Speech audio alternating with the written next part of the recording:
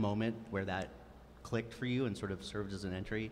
And I'm also curious because uh, when you talk about sort of your work being collected, is your performance work collected or is it object-based work collected? What is the relation between? I never mentioned collected. Well, in your bio, it talks about like your, your work is in the oh, collections video. of. oh, videos or Videos. photos or.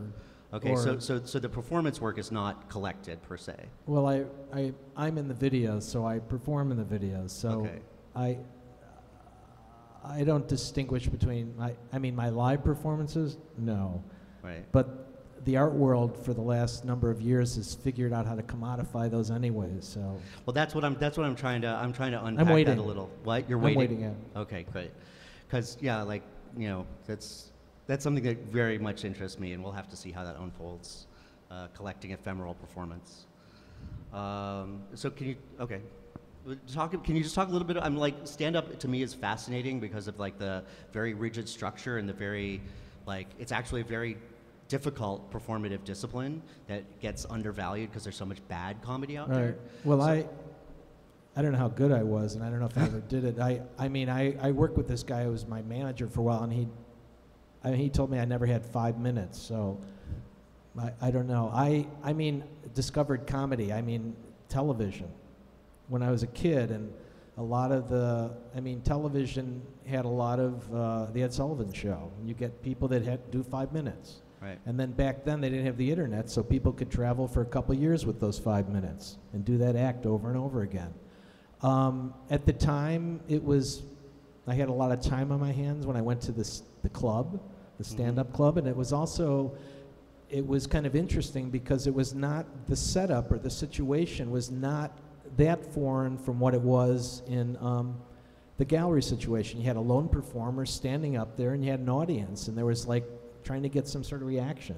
A lot of times it'd be playing off the moment, even though a lot of it was rehearsed and staged, and a lot of or scripted, and and then a lot of it was like at the moment. Um, so I I don't know if I quite understood that then, but it also sounded kind of interesting because the tenor of the art world was very serious. So it sounded kind of, you know, it made for interesting conversation at a cocktail party. What do you do? I'm a comic. It was bullshit, but it sounded good. Right. Know. Um, okay, so Laura, um, I wanted to ask.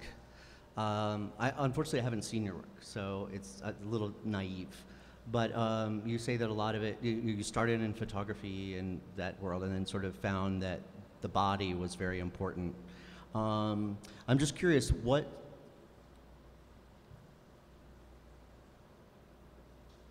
uh, I'm trying to figure. How does the body like? Tell me a little bit about that. And do you have you done subsequently? Do you need to do training to for your body to do what you need it to do performatively, or? Well, I guess yes and no. I mean, I'm a, I'm a pretty athletic person, but if you're, are you asking about artistic training? yeah, like have you done choreography or like movement training or anything Um, like that? I haven't until uh, pretty recently. I, I did some viewpoints training, which is the Anne Bogart's um, theater um, exercises paradigm. Uh, so, so in terms of uh, you know that that's my main. I mean, that's kind of the only formal theater training I have, if you can call it that.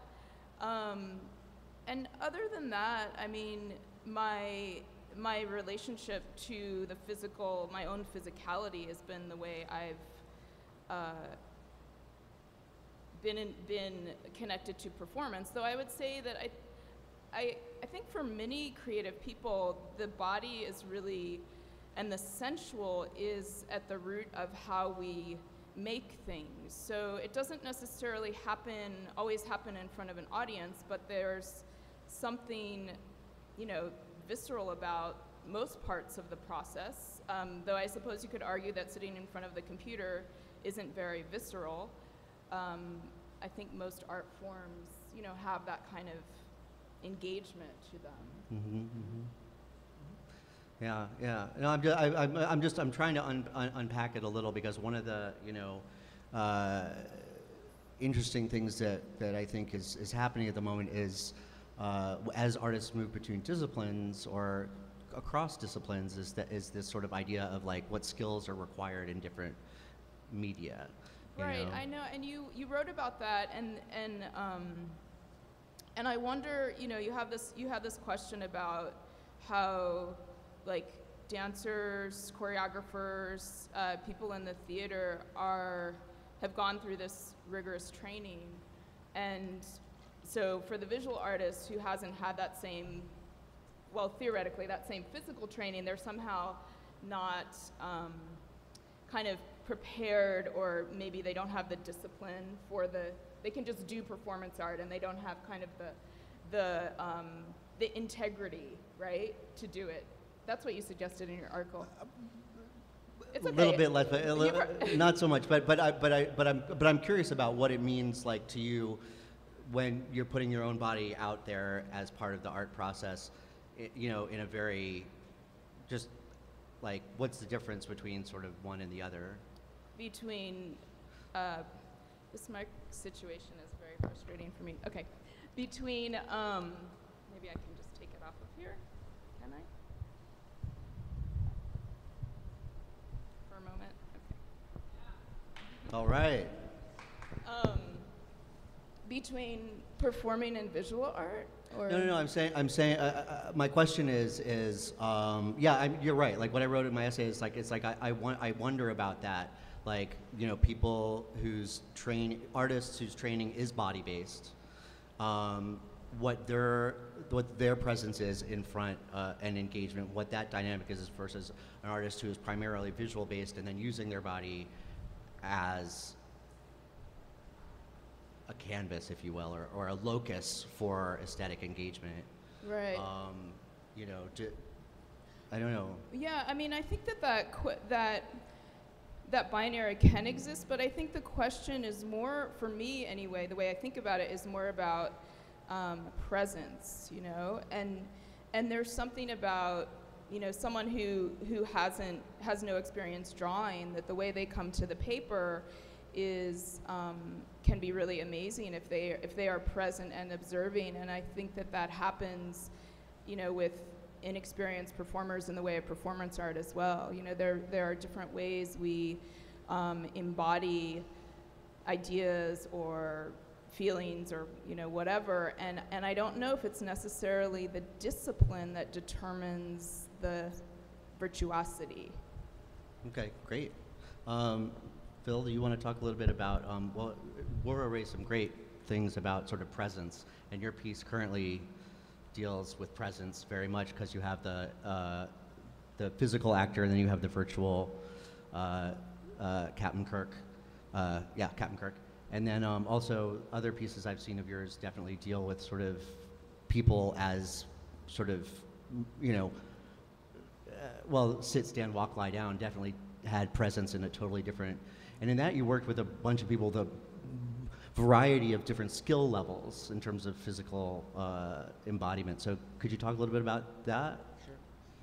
Um, uh, I think uh, the issue, well, presence has been uh, at the center of my work uh, um, since I began working on it. Um, but I have found that uh, it takes a tremendous amount of work to uh, uh, uh, to empty the container, so to speak. Um, that it is not, I, I find that there is something that an amateur, and I'll, I'll just, I, I don't mean that in a pejorative sense. I mean that in a person who has little to no experience as the people um, in sit, stand, walk, lie down. Many of them were rank amateurs and had never done any performing whatsoever. Um, when they first encounter um, something new, uh, uh, some exercises I might be doing, there is a spark. And that spark, by accident, can create some uh, pre- present uh, fire. But it is very short lived. And so the uh, practice of uh, presence has become uh, something quite um, compelling to me and difficult. Not that I know what it is, but I find I'm practicing it all the time. Um, sort of uh, to how the, uh, uh, I, I, I- think I would call it a consciousness about it. And I think um, the practice of uh, making the work that I make is of developing a consciousness about the act of doing what you're doing, which leads to some sort of presence. Um, so the uh, uh, I discovered in Sit, Stand, Walk, Lie Down that there was uh, a, a moat uh, on this island. And people had walked by the moat. I had walked by the moat a million times. But to somehow uh, notice the presence of that moat became um, uh, something interesting to me. And the moat took on the quality of a line seen sideways, very painterly thing. And by calling, I could call attention to that moat, its moatness, by uh, the placement or taking away of hands. And uh, since you didn't know where the hands would appear or disappear, uh, the moat became very interesting. So the performance became a way of pointing at the presence of the physical uh, uh, properties uh, of the architecture. And I think my directing skills also led to it knowing that the, the presence of the hands became part of that dance, but not the central part of that dance. That makes any sense. You know, I think directing is about figuring out what things go in front of what things when. So, um, I, I, I don't know if I'm answering the question. I'm, I'm sort of talking about my practice a little, and this, these are the things I engage with uh, uh, obsessively, um, and whether I get paid or not. No, I think no, I think it's. I mean, I actually think there's a wonderful consonance between what the artists are saying because I think we're everyone everyone is talking that there is a visual element to sort of creating a visual environment and and uh, or a visual experience. Uh, this question of presence, it, you know, I think it's it's not a evaluative judgment. I think for me, it's sort of, and I think for the field in general, it's sort of how do we develop a framework that talks about the different modes of performance in these different contexts that isn't that honors the different practices that lead to what happens in that ephemeral moment. And I want to talk to Hillary. Is okay? I want to talk to Hillary a little bit about how did you like come to cu- curate primarily performance art and sort of what do you you know what have you seen over the past I guess 10 years that you've been curating and or however Yeah, it hasn't been that Five long, years. but but talk a little bit about what you know um, yeah. Um, I was really lucky to um, work at the Box Gallery in Los Angeles that is the owner and is Mara McCarthy, who is Paul McCarthy's daughter. And so um, it was a good place to be. And um, so the, the premise of the gallery when they started it was that there would be, they would show artists that um, mainly performance artists and older who had been around who didn't really get their dues. And usually it was because their work was very sexual, political. They intentionally took themselves out of the art world because they didn't want to be in it. Um, so I was lucky to work with um, people like Barbara T. Smith, Simone Forti, um, people also with estates like Stan Vanderbeek and others.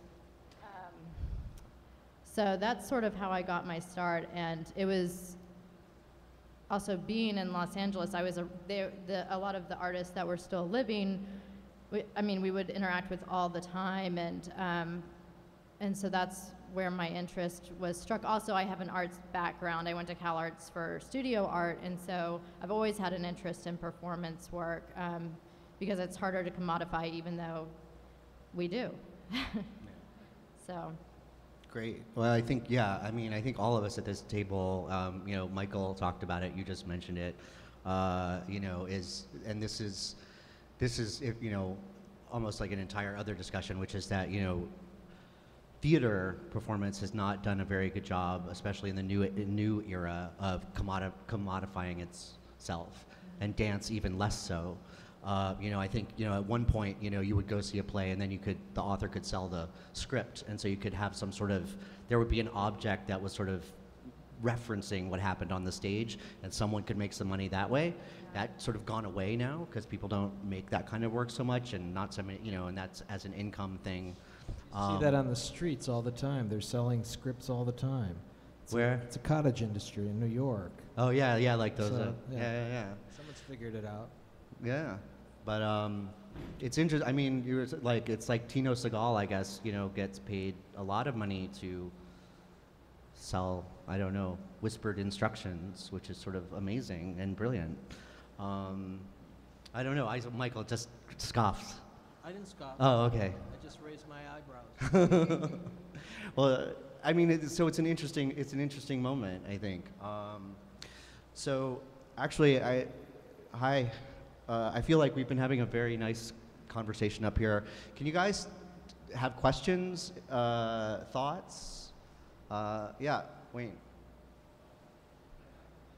Can you, can you, um,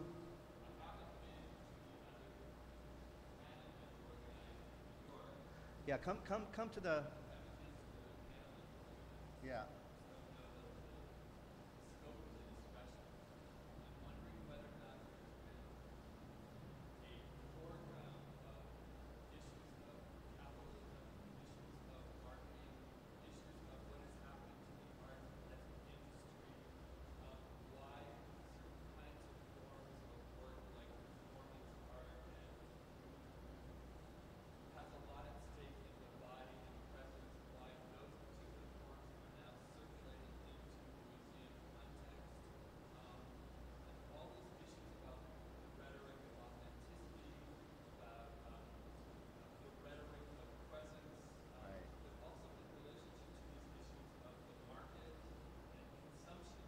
Yeah.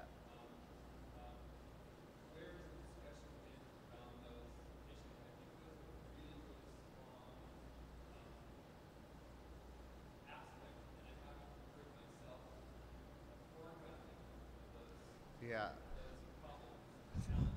So, so for those of you who can't hear, and for those of you watching on the internet, hi. Wayne Ashley wanted to was asking, have, have we foregrounded this conversation in a discussion about sort of the market and capitalism and and consumption? Right.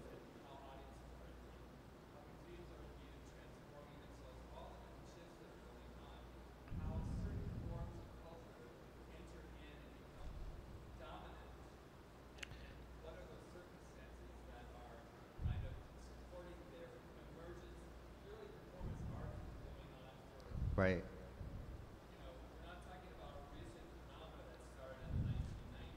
I think there's various factors that lead to that. In terms Yeah. of museums doing it, I think a lot of it has to do with funding. Some of it has to do with funding, education programs, bringing in a public, trying to attract them. So you have live events, you bring people in, you bring ticket holders. You can get funding from that. I also think it has to do with the economy and reaction to the economy in terms of artists and crit- criticism. Also, these things are circular and they're cyclical. So these things come up over and over again. It's every four years or three years. There's a there's a lifespan to these issues. So, and then I, in terms of like the people that are bringing these, um, I, I don't want to. I mean, not to get not getting personal or anything. I just know that there's certain opportunities that are, are uh, attracting. And when you're dealing with spectacle, which a lot of the performance is, which a lot of happens at Performa, you're going to get attention. And attention doesn't necessarily, you know, lead to direct money, but it leads to influence. It's important. Yeah, I think um, to, uh, uh, to Wayne to, to address the sort of foregrounding. Yes, there. This whole chain of conversation started from uh, an essay, uh, a, a series of essays. One that I wrote, one that Claire Bishop wrote, um, and a bunch of stuff that came out of Performa where it was really where we're. Re- and I think that that's what we're trying to do over the next you know, ongoing is unpack these issues around commodification. Um, uh, and, uh, and and I agree. Like I'm, I'm, I'm, you know, it's like the it's the Whitney is building a performance venue in their new museum. You know, MoMA, it, like all these people are investing in something that I would imagine, knowing the, the that world, may be out of fashion in six years. And I wonder what they're, these institutions are like. Are they? And this is why the commodification is so interesting, or the collecting is so interesting, because it's like they wouldn't be. I wouldn't think that a major institution would invest in building a performing program, a performance program, unless they had a strategy for collecting the performance and creating value. Right. Or else to bring attention to it that they're doing it. Who knows Right. what that facility is going to look like and how practical or how good it's going to be. Right. But Right. you Well, can gather a lot of, you know, generate a lot of interest and excitement around it. and it, well, it Let's might- see how it sounds when you go in the room. If you can actually understand what's being said in a video. Yeah. Who knows? That- Well, that's a big, that's a big, and I actually want to talk to Phil about this a little because, and this kind of gets to this like skill issue a little bit. Is that I, um, you know, I know that you went to TCG to build this piece with Jim Findlay. Um, just so, uh, and you can talk a little bit about that, but it's about sort of are the places building with the equipment to make the work that they're asking to make. You know, if you're going to ask Sarah Michelson to create a dance piece, is the Whitney building a facility that's going to allow her to actually build, you know, what she's, or Richard Maxwell, who was in the biennial, you know, are, are, are we creating a, or are we creating a structure where the performing arts dedicated venues will continue to be underfunded, will serve as a sort of farm, you know, a petri dish to develop these artists that will then, you know, move to the MoMA and get acclaim for MoMA and not down the, I'm sorry. No, no, that's. Okay, anyway, so if you want to talk about Yeah, um, yeah, I, I, I did spend uh, upwards of two years at uh, the Center Theater Group. Um, these are very interesting questions you ask, and I feel that uh, I, I, I, will address uh, them through my own experience. It's probably the, the, the best way to do it. So, um, uh, I, I did spend two years in a collaboration with Jim Findlay at the Center Theater Group in Los Angeles, which arguably is the flagship regional theater in the country. Buildings this, that would dwarf this room. Um, and I found the experience was locked in uh, to certain preconceptions about how to build, how to construct a piece that uh, adversely uh, affected the creative process that Jim Findlay and I were trying to engage in. Now, um, i- you know, we're not powerful guys, although I wouldn't mess with Jim. He's a big guy and, you know, beat the crap out of you. But um, uh, uh, so, so uh, saying that you know uh, we're two irate personalities, we can't be written off that way. Uh, uh, let me give you an example. The first uh, hurdle I had to jump was with uh, playwriting. We were funneled within the institution into uh, new play development. Uh, the focus of the piece that we were building involved no written text, no play. You would think the conversation would end there and we, what are you working on? And let's go to it. But uh, it didn't. And it became the subject of a year's years worth of arguing to uh, uh, make the people at the Center Theater Group understand we weren't dealing with a play, we were dealing with the experience of a performance. So I, I come at theater from um, um, all the questions that you might ask about a play, meaning the play as a map for who are the characters, what's happening, what is the narrative, what is the set. But my solutions, well, I should say that each of those each of those areas became the subject of questions for me, which I then built a production around over many many years. So. Um, uh, when I came to the Center Theater Group, I was not in a position to, when I said uh, I'm not going to work with a play, uh, it wasn't uh, to be a cool kid on the block. It was after years of work and research. Enough said about that. So uh, I, I, I found that the institution could not it became a binary situation, to uh, quote uh, myself, uh, um, that the institution could not handle the fact that we didn't have a play to work with. Part one.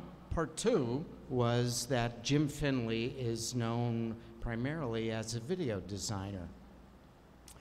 Um, Jim and I met and talked, and our, our we wanted to work with a very interesting question. What can we do with video that hasn't been done before?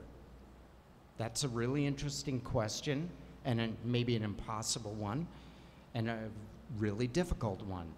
Um, so uh, I, I, think uh, Jim and I decided, well, let us start by, we will light the entire space only with video light there will be no stage lighting, only video light.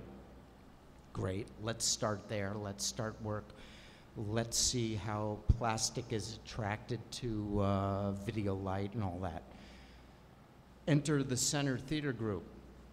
Video becomes, uh, within the institution, becomes a, a, very problematic issue because you cannot videotape any actors who might enter uh, into the video frame while you're making something. Because then you have to negotiate a contract with, uh, I think, SAG or AFTRA to uh, clear it, to okay it. So we had to go through this probably nine month, year long dance. Contracts had to be signed. Uh, uh, in order to use video to do anything in the room. So uh, it, the creative uh, energy went into uh, bureaucratic nonsense, in my opinion, as opposed to um, uh, uh, the harder question of what can you do with this? I don't know. so I found that uh, the theater establishment what became an uphill battle all the way. Um, I'm, I'm not unfamiliar with those battles, and I don't think they're uh, unexpected or, um, uh, I don't know what the word is, it's hot. Um, but they're very familiar. And either you take them on or you don't. Uh, but I think much too much energy gets wasted inside the theater establishment trying to make something exactly like the thing that was already made. Instead of, there doesn't seem to be uh, a, a, will inside of large institutions to do something that they don't know about. And my interest is purely in doing something that you don't know about when you start and you keep your fingers crossed and you have faith that when you finish, uh, you will uh, make something that will be of interest. Um, I think, uh, were there another question? okay. Um, we're kind of getting up on it. Did anyone closing remarks, thoughts to share? Well, I'll just say one, um, one last thing you know, you, we started this part of the conversation with a question about commodification, and I think that um, the example that you just spoke about is a really um, good point about how, about the, I don't know if I could call it the commodification of theater, but the reason that process exists is because for a long time people fought for unions and to do things in particular ways so that all of those collaborators in the process could get paid, right? right. And it's the same thing that happens in museums. There's a similar bureaucracy, so it's not, I don't think that it's, um, it's necessarily that the visual artist, you know, can sell the painting and make money and that the theater person can't. You know, we're, and when we're talking about the Whitney, we're talking about these number of artists. We're not right. talking about all of these people who are doing lots of different kinds of work to, uh, you know, to survive. So yeah. it's, I, I and I think also, and then I'll give you this, that the Whitney building a performance space, um, along with the economic um, decisions that go behind that, might also be a great sign of um, genre crossing and breaking down that is really necessary and that has, I think, always been um, the experience of artists. That you know we, we are asked to study study in a certain way, but there's a you know we're whole. We do lots of things. You know we listen to sound. We feel the earth beneath our feet. We draw, even if I'm a theater artist. So um, it I think it's a good thing as well. Um, I just want to add that the Whitney was actually modeled after a series at the at the Whitney that happened 30, 40 Right. years ago.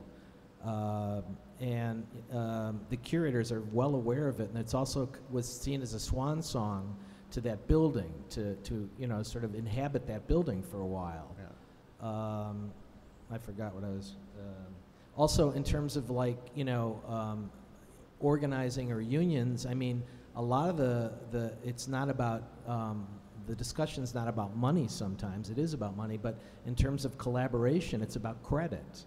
You know, Mhm. in, in term it, with artists too, and that's that becomes a, a, a talking point with them or a, a, a big part of it. Um, but they do have unions too. There's been unions in the trying to organize artists in terms of uh, getting together. It's not Yeah. only in that world, but it's less.